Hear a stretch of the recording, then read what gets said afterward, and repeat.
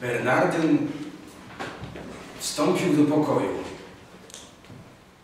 Zaledwie go poznano, choć nie zmienił stroju, tak przybrał inną postać. Zwyczajnie ponury, zamyślony, a teraz głowę wzniósł do góry i z miną rozjaśnioną, jak kwestarz rubaka, nim zaczął gadać, długo śmiał się. Kłaniam, kłaniam. Wyśmienicie, przednie! Panowie oficery, kto poluje we dnie? Wy w nocy?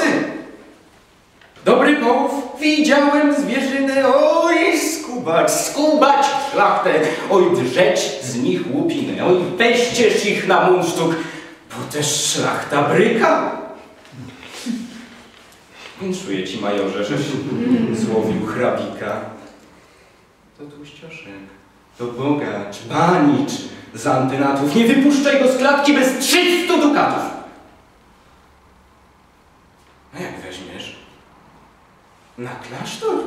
Daj jakie trzy grosze. I dla mnie, bo ja zawsze za twą duszę proszę. Jakem Bernardyn, bardzo myślę o twej duszy. Śmierć i sztabs oficerów porywa za uszy.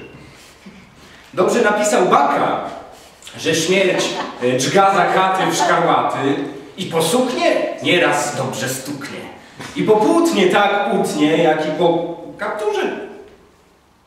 I po fryzurze równie jak i po mundurze. Śmierć matula, powiada Baka. Jak cebula, łzy wyciska, gdy ściska, a równie przytula i dziecko, co się lula i zucha, co hula. Ach, ach, majorze, dzisiaj żyję, jutro piję. To tylko nasze, co dziś zjemy i wypijemy. Panie sędzio, wszakże to czas podobno śniadać. Siadam za stół i proszę wszystkich ze mną siadać. Majorze, gdyby z. Panie poruczniku, co myślisz może? Wazę dobrego pączyku? To prawda, ojcze, rzekli dwaj oficerowie. Czas, by już zjeść i wypić pana sędzi zdrowie.